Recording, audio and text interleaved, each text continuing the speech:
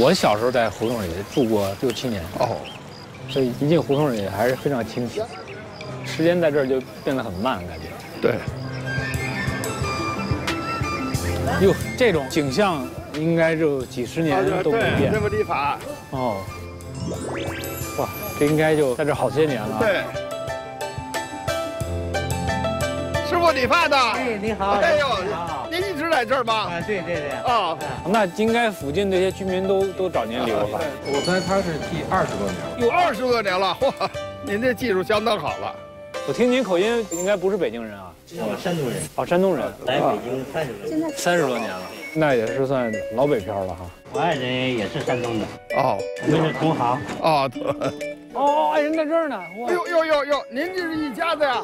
哎呀，一家子，哎啊，哎呦呦，啊，您您生意还挺好的哈。啊啊，对，拉回头客，有的四世同堂都是我理四代都上您这儿理的。啊。哦，这儿来了快，不要排队，对没有便宜。啊，您这个不洗多少钱啊？十块十块啊！现在没地儿找了，哪有十块钱？我这个我这个不洗，光理三十，以后上您这儿理吧，便宜，还能晒太阳，多好！还能晒太阳。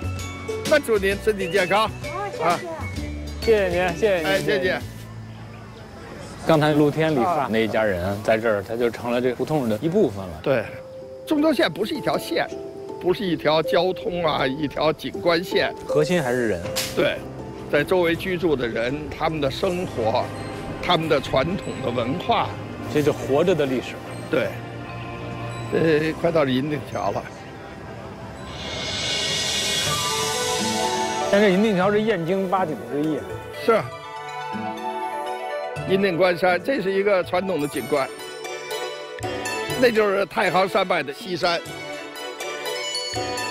过去呢，因为建了一个积水潭医院是高楼，嗯，所以呢，西山呢有些地方被挡住了。然后现在呢，为了解决银锭关山的问题，它降层了，哦，降到树底下了。这样你瞧，今天西山能看得很清楚。银锭关山水倒流，这个银锭关山好理解，银锭桥啊看西山嘛。对对，看西山这。水倒流怎么理解？水倒流就是因为北京是西北高东南地嘛，应该是往东南流。夏季啊，雨水大了，有些淤积以后，呃，这边水比那边还高，就变成水倒流了。回流了。对，哦，算一个景观当时。哦它去你别说，它这边还有点像江南的感觉啊，这小桥对。，这个桥一九八四年的时候进行保护整治，然后再包括这个韩白玉的南板。哎呀，那咱们继续走中轴线。走走走。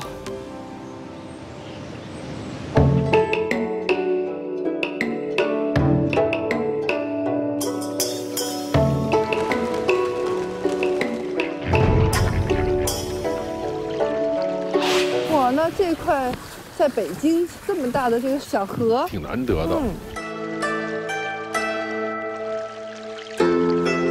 这是原来没有的吧？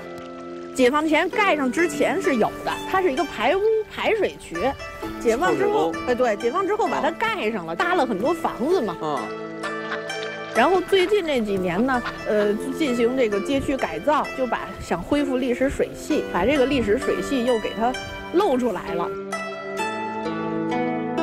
北京水系要是好好整理整理啊，其实挺好的。真的，啊这个城市的景观啊、环境啊都会好很多。有你看，水嘛，就活起来了，然后湿度也会好。而且它这就是这种微改造特别好，就不大拆大建，啊，就是在这个基础上做环境。